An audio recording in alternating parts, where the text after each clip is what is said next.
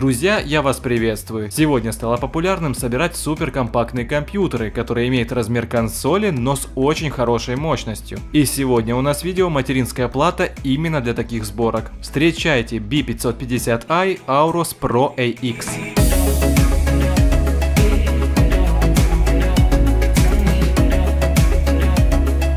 В начале видео у меня небольшое сообщение. Компания Oukitel сегодня начинает продажи нового суперзащищенного смартфона WP5 Pro. Это брутальный смартфон в защищенном корпусе и 5,5 дюймовым экраном. Батарея у него целых 8000 мАч. На борту есть 4 гигабайта оперативной памяти и 64 гигабайта накопителя. И сейчас его можно купить всего за 130 долларов. В общем, кому будет интересно, ссылку я оставлю прямо в описании.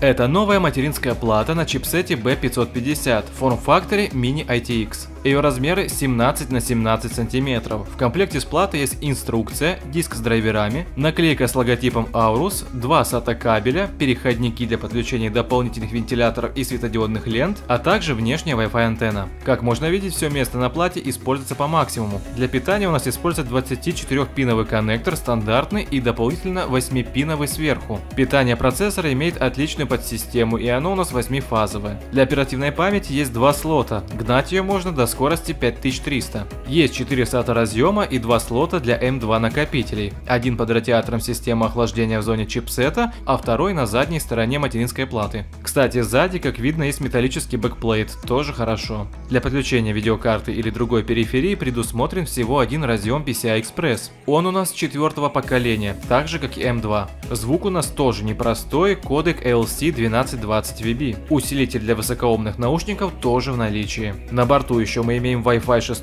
поколения и Bluetooth 5. Для любителей подсветки есть настраиваемая RGB полоса на самой плате для ambient подсветки корпуса. Дополнительно можно подключить две адресуемые ленты прямо к плате. На панели подключений тоже полный набор. Есть 5 USB разъемов, 2 HDMI, один DisplayPort, фирменный Ethernet на 2,5 гигабита, также Type-C разъем, набор аудиоразъемов и собственно порт для подключения Wi-Fi антенны, которая идет в комплекте. Подводя итог, можно сказать, что плата получилась зачетной. Несмотря на свой компактный размер, она позволяет бескомпромиссно собрать классный игровой компьютер на ее базе. Система охлаждения при тестах показала себя очень достойно, несмотря на то, что она полностью пассивная. И по итогу могу смело ее рекомендовать. Кстати, напишите в комментариях, хотели бы вы увидеть на канале видео сборкой очень маленького и компактного компьютера. Или вам все же будет интересней стандартный полноразмерный корпус. Но если будут вопросы по материнской плате, также обязательно пишите в комментариях. Это была материнская плата аппарата B550i Aorus Pro AX.